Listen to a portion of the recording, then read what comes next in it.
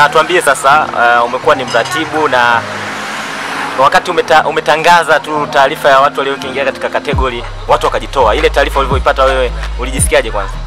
Nisikia kawaida, mimi naheshimu maamuzi ya mtu, naheshimu hisia za mtu. Kwa hiyo nafikiri sio- sio jambo sahihi la kuzungumzia, tuzungumzie maandalizi kwa sababu hayo yalishapita.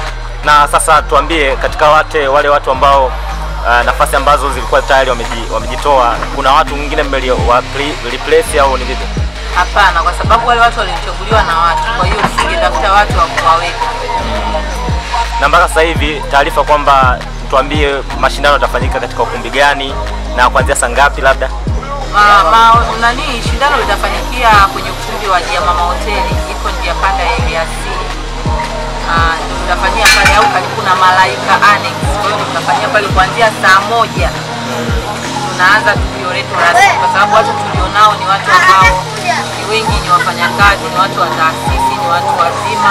Kwa hiyo hatuwezi kuchukua shindano tukasogeza, itachukua masaa mengi. Kwa hiyo tunahitaji tufanye kitu ambacho kinaenda kwa haraka na kiwe perfect.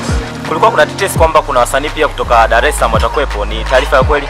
hiyo ni surprise, ingawa tayari watu walishaanza kuonekana kwenye cover kama kina Pilipili, lakini kuna wengine wapo ambao itakuwa ni very surprise, na niwaambie tu kwamba yani kwa mwaka huu shindano halijawahi kufanyika. Yani watu wakija wataona ndo kwanza linawahi kufanyika, kwa sababu kuna vitu vingi ambavyo tumejiandaa. Na tuambie sasa gharama ya tiketi ni shilingi ngapi labda? VIP ni elfu ishirini, tebo ya watu watano ni laki moja na kuna ile regular ni shilingi elfu kumi. Na tuambie sasa katika kwa swala la, la usalama, labda mtu akija na gari yake kutoka kuna salama, watu wanakuja na familia, ya mama kwanza kuna parking kubwa, lakini mbali na hayo tu ulinzi uko vizuri, tumejiandaa vya kutosha. Nafikiri toka Nyambago imeanza kufanyika hakuna tukio baya lilotokea. Kuona safari tuhakikishe kwamba tumejipanga yani.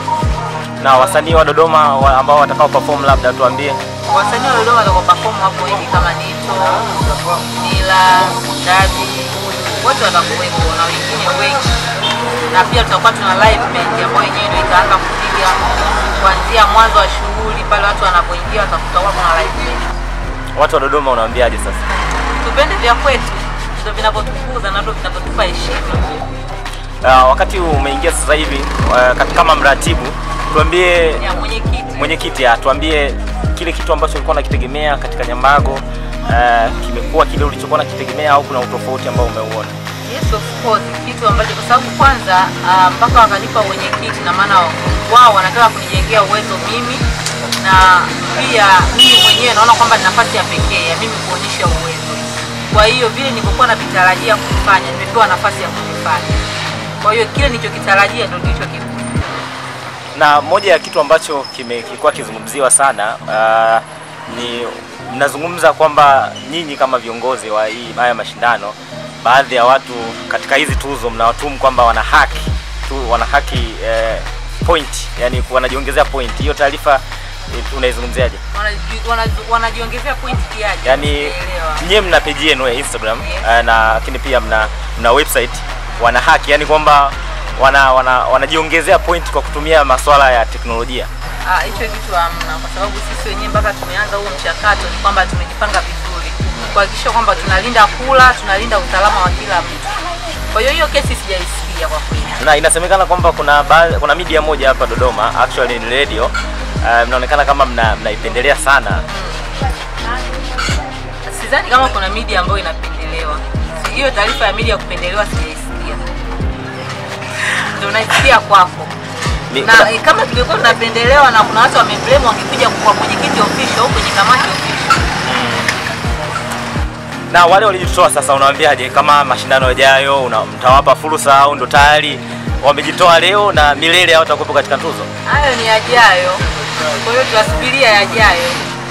Lakini mmewatoa manake Ah, Hapana, nishasema hayo ni yajayo. Hatujamtoa mtu sisi, tulitangaza sehemu kwamba tumemtoa mtu. Kwa, mat- kwa, kwa tuzo nyingine sasa za Nyambago, hao waliojitoa wasanii, madirekta je, wana nafasi au Hayo ni ajayo mtangazaji. Kwa hiyo siwezi kuyazungumzia sasa hivi. Nafikiri tungeonge tunge focus kwa ajili ya tukio la kesho kutwa, lakini kwanza kuongea kwamba walojitoa alofanya nini, nafikiri sio siku sio siku sahihi. Eh, MC Pilipili nasikia atakuwepo Yes. Ndio surprise yenyewe uliokuwa unatuzungumzia. Hapana, ingekuwa surprise tusinge nani, tusingeitoa cover. Na mgeni rasmi sasa mnategemea atakuwa ni nani? Uh, of course tutakuwa tuna viongozi wengi, kwa hiyo hatu expect kwamba huyu ndo atakuwa mgeni rasmi, kwa sababu viongozi ni wengi. Ukianza kumention huyu itakuwa sio vizuri. Unataka kutuambia kwamba hakuna mgeni rasmi katika haya mashindano? Hata ukiangalia tuzo za watu wengine, mgeni rasmi waga hayupo, ila sisi ni kwa sababu tu tunatengeneza ile heshima. Kwa hiyo kwa sababu tunawapa heshima viongozi wote, basi tukio litakuwa hivyo. Maandalizi ya Nyambago haya naona, naona upo kwenye au ndo Hapana, na- ni, ni maandalizi tu ya kawaida.